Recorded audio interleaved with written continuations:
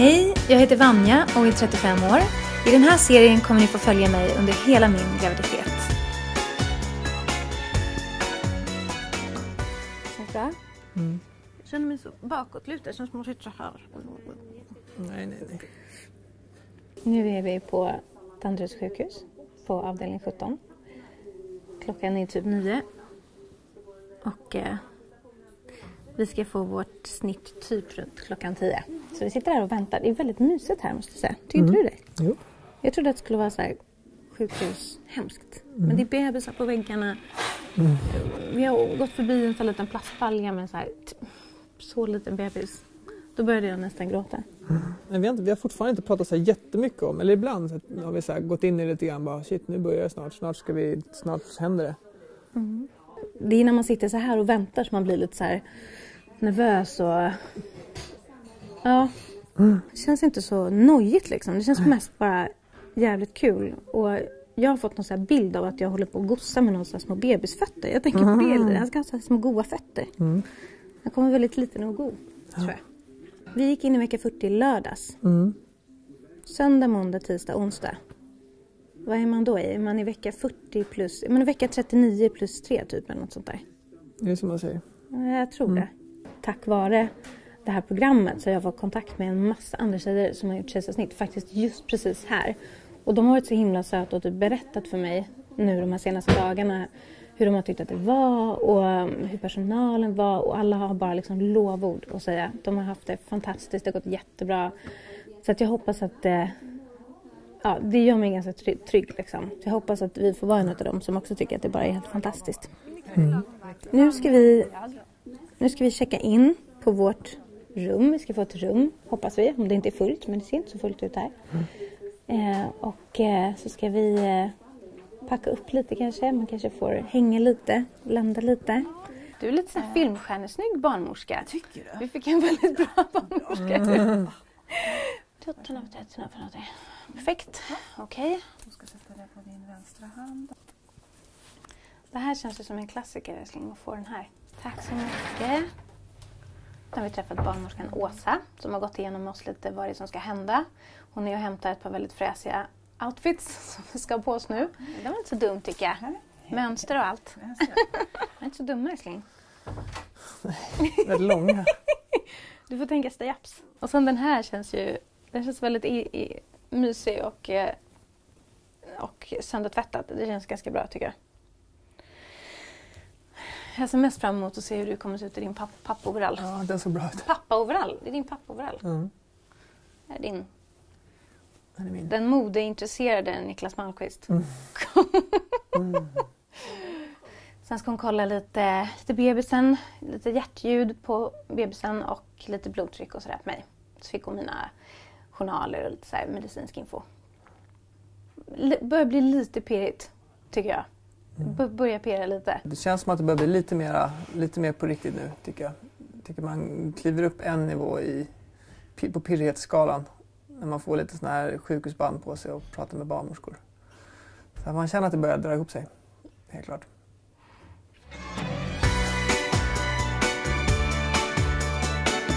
Nu när man sitter här, några minuter kvar tills, vi ska, eh, tills vi ska göra vårt kejsarsnitt så känner jag att det är 110% rätt val för mig. För oss. Om jag hade, vi pratade om det här igår. Om jag visste man är nervös, det är en jättestor operation och hela den prylen. Men hade jag vetat att jag hade en vaginal förlossning framför mig så skulle jag mått så himla dåligt nu och känt mig så otroligt osäker, rädd, nervös, eh, oförberedd vankat av honom. Jag hade inte kunnat koppla av på något sätt fram tills det att det liksom var över. Så jag är så sjukt nöjd med det här. Jag är så jätte, jätte, jätteglad. Det känns så himla bra. Det är precis så här jag vill ha det. Det känns jättebra. Direktiven är ganska klara. Det är håll dig på rätt sida skynke. Eh, Jag vill inte att någon ska slinka bakom detta skynke. Jag tror inte att någon vill se vad som pågår där. Eh, Utan du får hålla dig vid mig och ja, bara vara härlig. Mm. Ja. Man är ju liksom vaken under snittet, det är inte så att man sövs. Utan man är vaken, sen har man ett skynke över magen och sen så jobbar de på där bakom. Eh, så att eh, ja, det är där de plockar ut bebisen. Så att jag vill fokusera härifrån och framåt på den här delen och när det kommer en bebis. Inte så himla mycket på vad som händer här bakom skinket. Det känns helt sjukt att magen ska försvinna. Eh, jag har ju blivit magblind. Alltså jag tycker liksom att eh, när jag ser mig själv utan mage så tycker jag jag ser helt vansinnig ut. Jag tycker jag ser ut som en liten spinkig anorexia-räka nästan. Det ser jättekonstigt ut. Um, och jag tog faktiskt en bild. jag tog faktiskt en bild i morse så här. Tjuff, rakt ner för att jag kan ju liksom inte se mina fötter typ. Bara för att kunna så här, jämföra hur det är om några timmar. Hur mycket som försvinner. Mm. För det känns så konstigt att den ska vara, inte vara med oss länge. Mm. Vad känner du älskling, sista timmen innan barn? Utan barn? Utan barn. Ja. Ja, jag vet inte, man ska kanske ta vara på den här timmen på något sätt. Nu när vi inte behöver tänka på, tänka på barn hela tiden. Typ gå ut och festa, kanske dra ett par shots. Nej, jag, jag känner, nu börjar, man känner sig redo. Man är, jag är taggad nu liksom. Mm. Jag, jag, jag är sugen. Det är typ så jag känner. Mm. Och du då? Mm, men typ så också. Mm. Typ så också. Fast det känns, det känns så himla konstigt bara att det blir så här, genom ett trollslag så är det, ska det vara tre personer. Mm. Jag vet inte om det på något sätt, om man föder vaginalt och får igång verkar och hela den här prylen, för jag har ju inga verkar. Om Mm. det kanske gör att man på något sätt blir lite mer förberedd. Jag vet inte. Mm. Det känns fortfarande väldigt konstigt att så här så Mm. kommer vi helt plötsligt vara tre och livet kommer bara vara så här, en helt annan Mm. grej. Det känns jätte Mm. super weird. Officiellt den sista magvisningen för denna graviditet. Här kommer den, vecka 40. Timmar, minuter innan Igster kommer ut och magen försvinner. Så här ser den ut. Han har ingen aning stackaren om att alldeles snart, alldeles snart kommer någon bara så här fiska ut honom. Mm. Oj, oj, oj, oj, Okej, så nu händer det. Nu händer det, precis. När vi mötte dig när du kom, var det på väg med det andra snittet? Precis med de som var inne. Det är så konstigt att ni gör det här dagarna långa. Alltså det är så konstigt. Mm.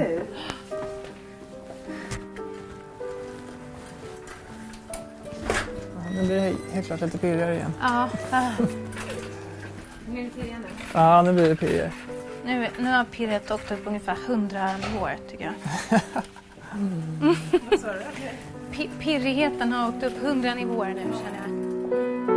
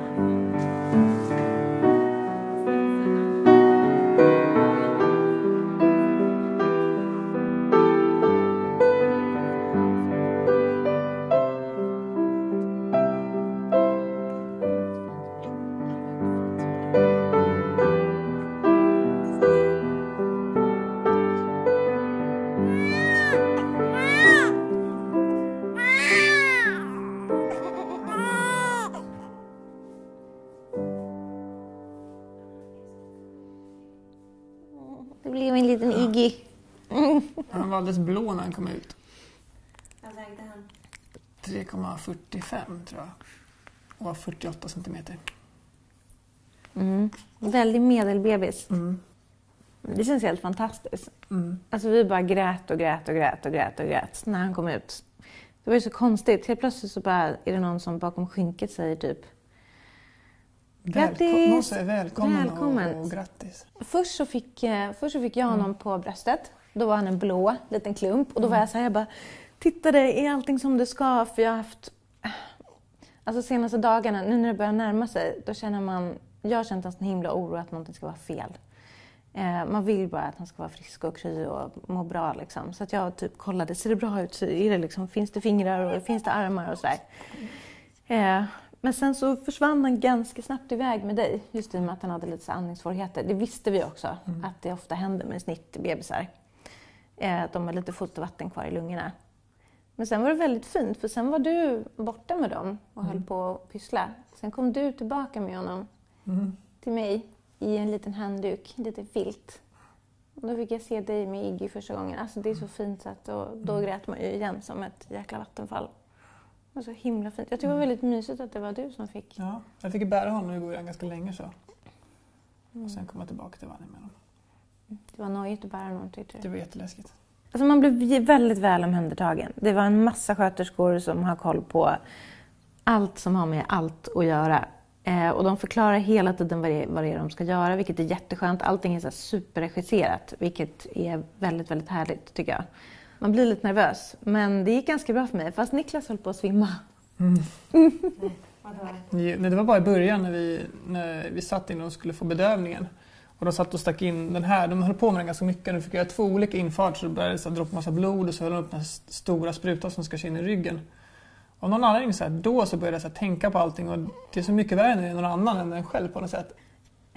Alltså det kändes inte som att man kände så himla mycket nervositet eller någonting förrän precis tycker jag när man skulle klä, liksom klättra upp på operationsbordet.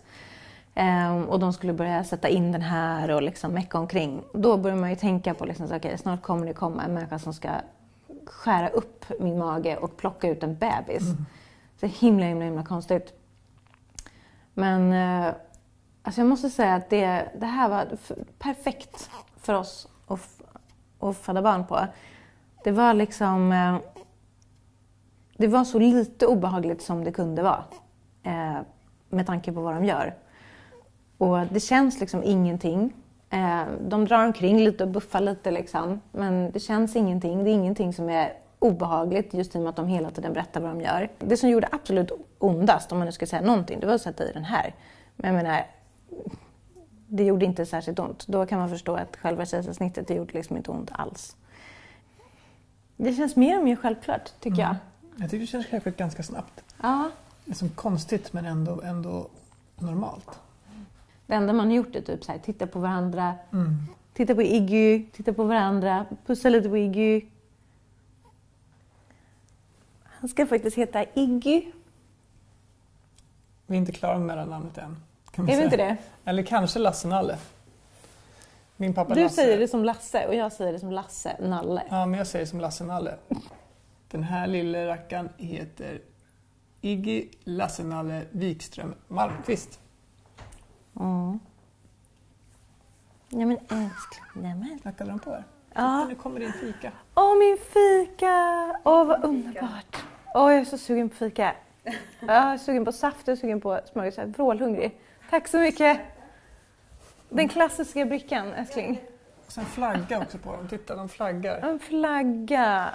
Det är BB-brickan. Första halvtimmen så kändes det bara så här, gud vad konstigt. Nu har det liksom kommit ut ett, ett barn, det är vårt barn. Man känner honom ju inte än. Liksom. Ser bra ut tycker jag. Och han, är, han ser ut precis som alla säger att de gör när det är ens eget barn. Det är ju den, det, är det sötaste barnet man har sett. Vackraste barnet i hela Ja, världen. Det är det. Ja, det Så- är det. Som alla andra barn. Mm. Han är typ tre och en halv timme gammal då. Tre och en halv timme. Då är man inte så gammal, då är man ganska ynklig. Okej, nu ska mamma dricka lite saft. Får vi se hur den här överskjutsningen går. Kommer han gnälla lite? Går till pappa. Åh, Åh, jag har inte så mycket magmuskler. Jag ska... Aj. Hur ska vi göra det här då? Kom, kom, Ja, det kom. går jättebra. Titta vad bra. Som en dröm. Kom, så. Så. Kan du sova kvar. Behöver inte ens vakna.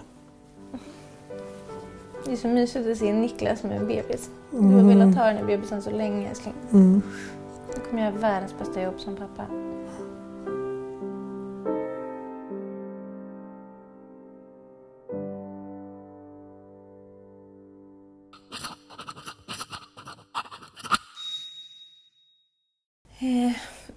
Då, nu ska vi hänga här, vår lilla nybildade familj. Eh, och mysa och ha det väldigt härligt, lära känna Igster lite. Så ses vi hemma hos eh, oss nästa gång. Ha det så bra. Hej då!